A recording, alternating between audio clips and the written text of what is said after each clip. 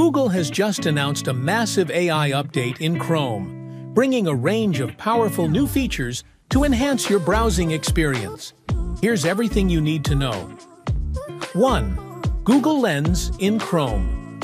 Desktop. Easily select, search, and ask questions about anything you see on the web without leaving your current tab. 2.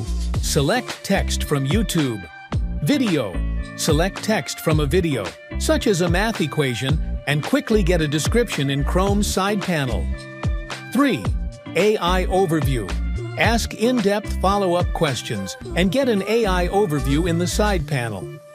4. Compare products across sites with Tab. 5. Rediscover your browsing history.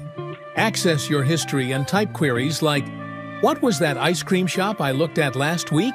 To get relevant pages from your browsing history. 6. Chrome Actions on Phone Shortcut. Buttons in search results allow you to quickly call, get directions, and read reviews. 7. Get started with AI in Chrome Open Chrome on your computer. Go to Settings. Then select Experimental AI. Enable Try Out Experimental AI features.